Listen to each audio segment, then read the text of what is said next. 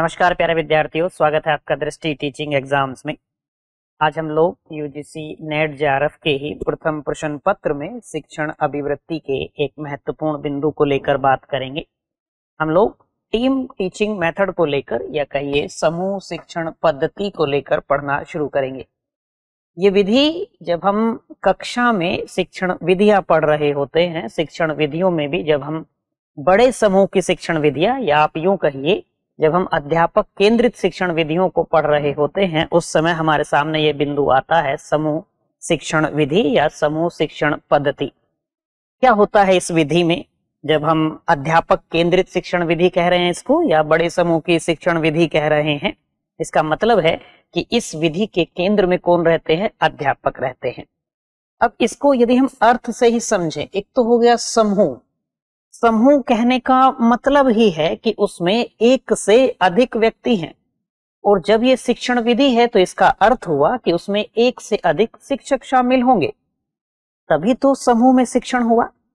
ये अध्यापक केंद्रित विधि है, ध्यान रखना है। तो समूह शिक्षण पद्धति या समूह शिक्षण विधि क्या है कि जब हम एक ही कक्षा के विद्यार्थियों को पढ़ाने के लिए एक से अधिक शिक्षक एक समूह में शामिल होते हैं।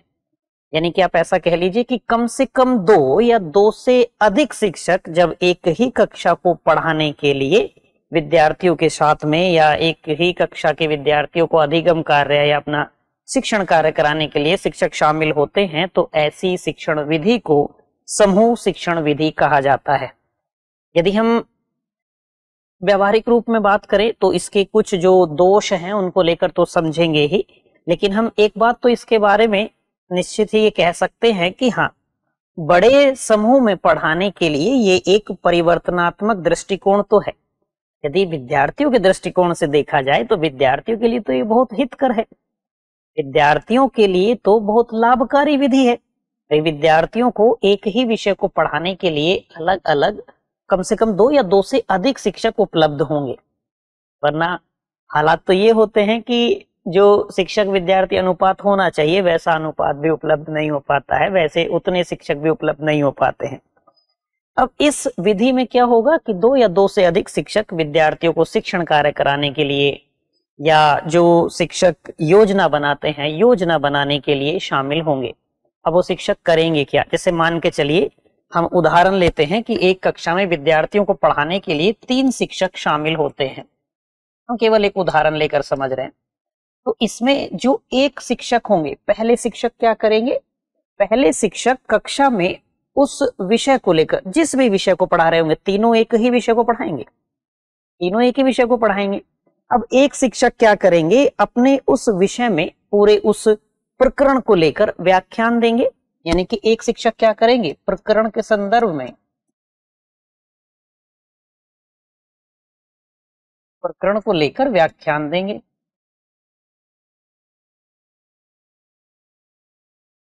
प्रकरण को लेकर व्याख्यान देंगे, या आप ये कह सकते हैं कि एक शिक्षक क्या करेंगे, उस विषय के जो बिंदु पढ़ाया जा रहा होगा, उस बिंदु के सैद्धांतिक पक्ष को लेकर विद्यार्थियों के साथ में बातें साझा करेंगे, विद्यार्थियों को अवगत कराएँगे सैद्धांतिक पक्ष को लेकर।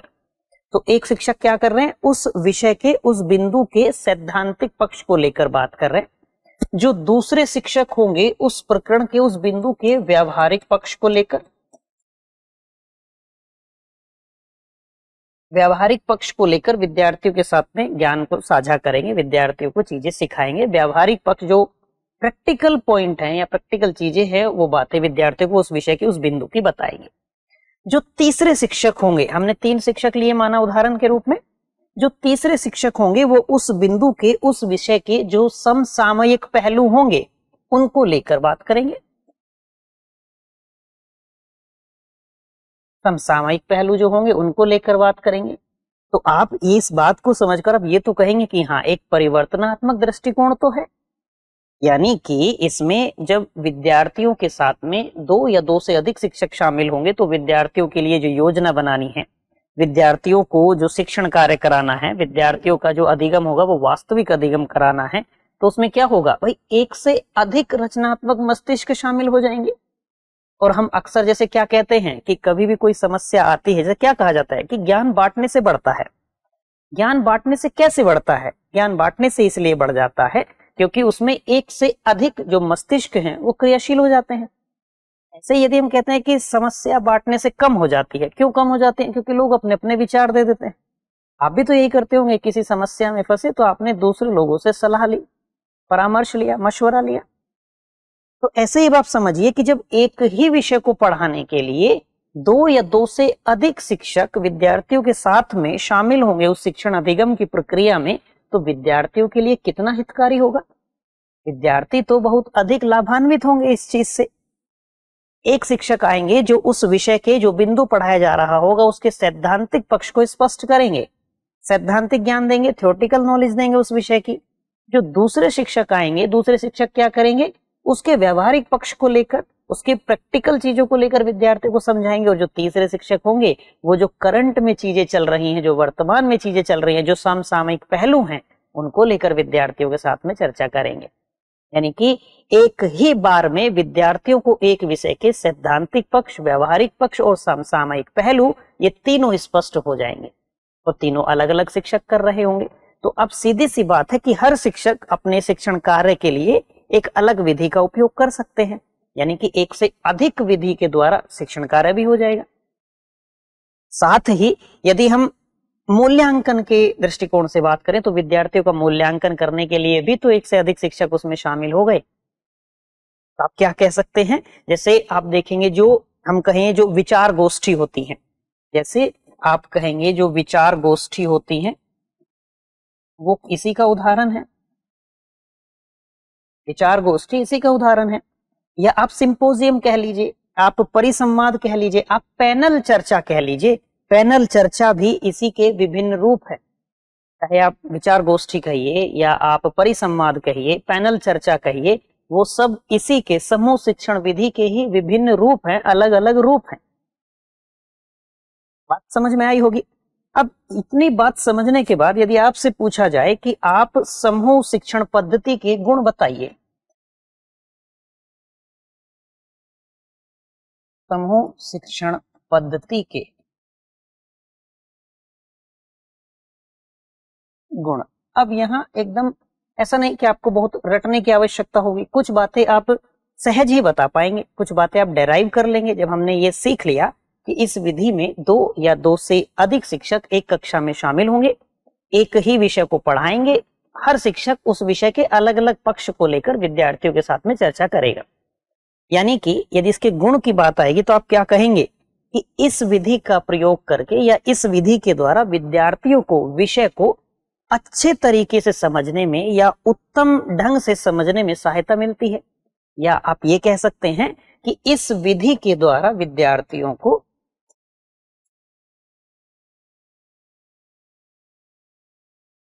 इस विधि के द्वारा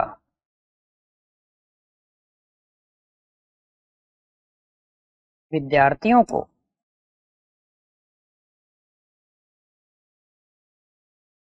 किसी विषय को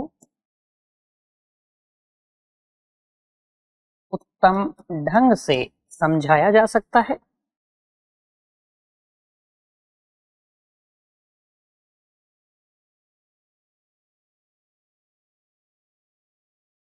सहजता के साथ कह पाएँगे आप इस बात को।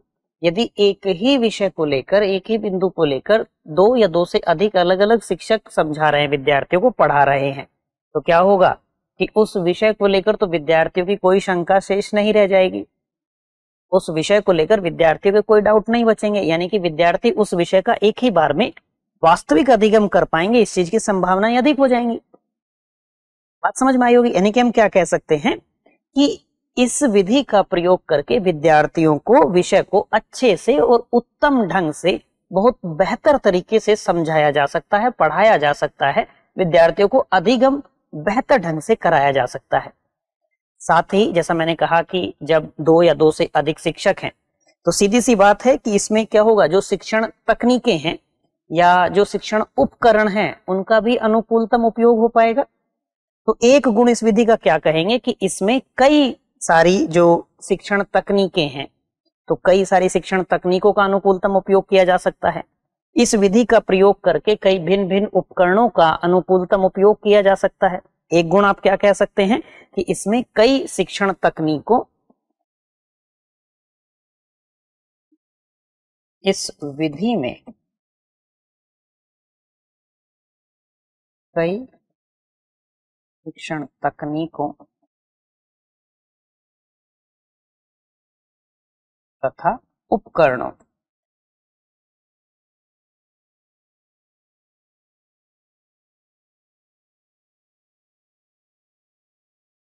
अनुकूलतम।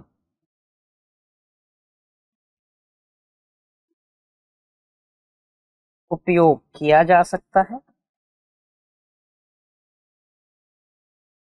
उपयोग किया जा सकता है। और कोई बिंदु गुण में आपके मन में आ सकता है इसमें? जैसे आप और एक बात क्या कह सकते हैं? यदि हम शिक्षण की गुणवत्ता को लेकर बात करें, जैसे हमने कहा कि विद्यार्थी इस विधि का उपयोग करके वास्तविक अधिगम कर लेंगे। अधिक संभावनाएँ है विद्यार्थियों का वास्तविक अधिगम करने की। जब विद्यार्थी का अधिगम वास्तविक हो रहा है, इसका मतलब है कि शिक्षक का शिक्षण भी प्रभावी होगा। ये दोनों चीज़ें तो एक दूसरे से जुड़ी हुई हैं। यदि शिक्षक का शिक्षण प्रभावी है तो कहीं ना कहीं इस बात में यह बात भी निहित है कि विद्यार्थियों का अधिगम भी वास्तविक अधिगम होगा। विद्यार्थियों का अधिगम भी प्रभावी अधिगम होगा, यह बात भी तो इसमें निहित है। तो यदि हम शिक्षण की गुणवत्ता के दृष्टिकोण से सोचें तो हम ये कह सकते हैं ना कि इस विधि के द्वारा जो शिक्षण की गुणवत्ता है, शिक्षण की गुणवत्ता में सुधार किया जा सकता है। एक गुण आप यह भी कह पाएँगे। इस विधि के उपयोग से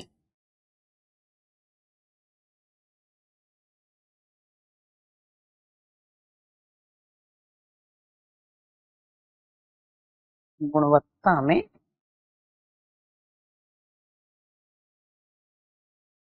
सुधार किया जा सकता है। किया जा सकता है। अच्छा अब ये तो हो गई गुण की बात। ये तो हमने गुण की बात कर ली। अब आप एक बात सोचिए कि जब सारे गुण ही हैं यदि हम इतने गुण की बात कर रहे हैं, फिर भी आप देखेंगे कि व्यवहारिक रूप में आपने इस विधि का प्रयोग होते नहीं देखा होगा। ये हम एकदम प्रैक्टिकली बात करें तो आपने कभी इस विधि का प्रयोग होते, मेरा पूरा अनुमान है आपने नहीं देखा होगा। ऐसा क्यों? जब ये विधि इतने बेहतर परिणाम देती है शिक्षण की ये विधि, फिर इस विधि का उपयोग क्यों नहीं किया जाता? इसका मतलब है कि इसमें कुछ दोष भी होंगे। इसका अर्थ तो यही हुआ कि समूह शिक्षण विधि के कुछ दोष भी होंगे या समूह शिक्षण के कुछ दोष भी होंगे? तो समूह शिक्षण के कुछ दोष के बारे में बात कर लेते हैं।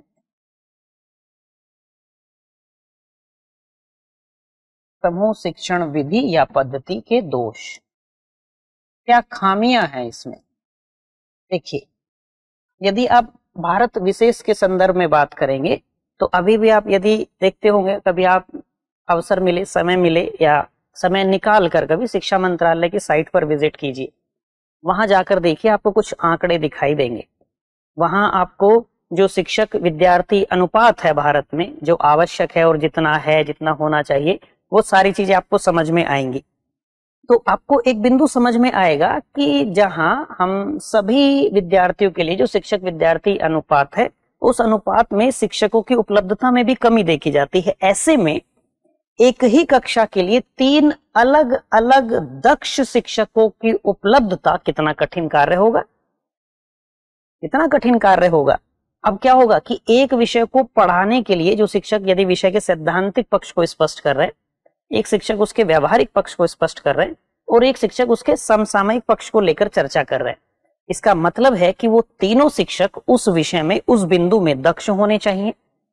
उनकी अपने उस विषय को लेकर, उस बिंदु को लेकर मज़बूत पकड़ होनी चाहिए, स्पष्टता होनी चाहिए। अब ऐसे शिक्षकों की उपलब्धता भारत, विशेष जैसे देश में थोड़ा सा जटिल कार्य हो जाता है, जहाँ जनसंख्या अधिक है, शिक्षा से आवश्यकताएँ अधिक है और गुणवत्तापूर्ण शिक्षण की कमी है, एक गुणवत्तापूर्ण शिक्षण कराने वाले शिक्षकों की कमी है। तो इसका एक दोष क्या हो जाएगा? कि इस विधि के लिए विशेष जो दक्ष शिक्षक है, उन दक्ष शिक्षकों को ढूंढना एक जटिल कार्य होता है। तो एक प्रमुख दोष तो आप इसका यही कह देंगे। इस विधि के उपयोग के लिए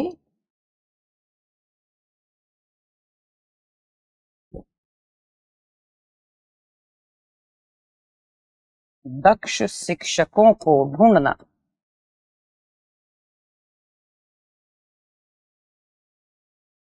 ढूंढना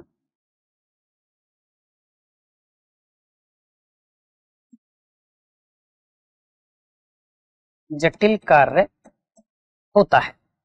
और ये कार्य जटिल इसलिए भी है क्योंकि भारत में आप देखिए कितने सारे विषय हैं। अब उन सभी विषयों के लिए अलग अलग शिक्षकों की उपलब्धता तो यदि मैं केवल तीन ही शिक्षक मानकर चलूँ, या आप दो ही शिक्षक मानकर चलिए तो भी आप देखेंगे कि जस्ट शिक्षकों की जो आवश्यकता होगी वो दो गुनी हो जाएगी। यदि तीन शिक्षक होंगे तो तीन गुनी हो जाएगी। तो एक दोष प्रमुख हो गया। इसमें एक, यानी कि जब हम कह रहे हैं कि दो गुना शिक्षक चाहिए, यानी कि शिक्षकों की, अधिक शिक्षकों की आवश्यकता है तो ये भी क्या हो जाएगा? इस विधि का एक दोष हो जाएगा कि इसमें शिक्षण के लिए अधिक शिक्षकों की आवश्यकता होती है। जो जैसे एक शिक्षक होते, वही एक शिक्षक क्या करेंगे उस विषय के? सैद्धांतिक पक्ष को, व्यवहारिक पक्ष को, समसामयिक पक्ष को लेकर चर्चा कर लेंगे। अब यदि हर पक्ष के लिए अलग शिक्षक की आवश्यकता होगी, व्यवस्था होगी तो क्या होगा? शिक्षकों की आवश्यकता में तीन गुना की वृद्धि हो जाएगी। तो हुआ कि केस में अधिक शिक्षकों की आवश्यकता होती है। तो एक दोष क्या हो जाएगा इस विधि का? कि इस विधि में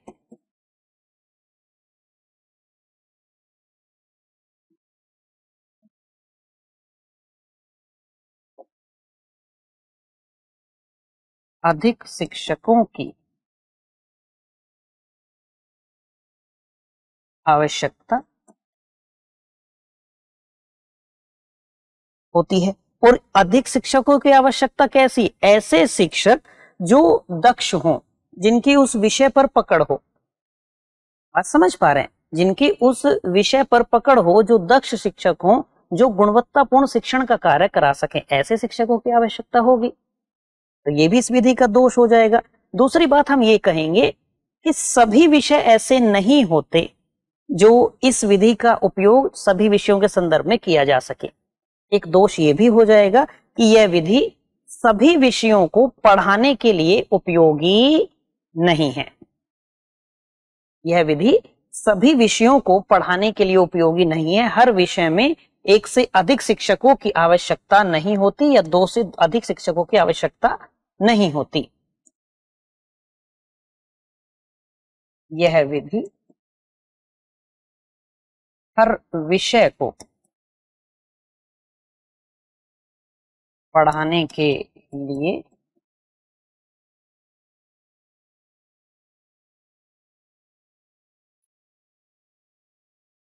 उपयोगी नहीं है। यदि आप सामान्य देखें तो जैसे मानविकी का विषय हो गया, हम हिंदी की बात करें, हम हिंदी की बात कर लें तो वही एक शिक्षक पर्याप्त होंगे। इतिहास के संदर्भ में बात कर लें तो वहाँ ऐसा हो सकता है कि एक से अधिक दो शिक्षकों की आवश्यकता हो जाए। वो भी हम जब एक तरीके से थोपना चाहेंगे तब, वरना एक शिक्षक होंगे, पर्याप्त हो जाएगा।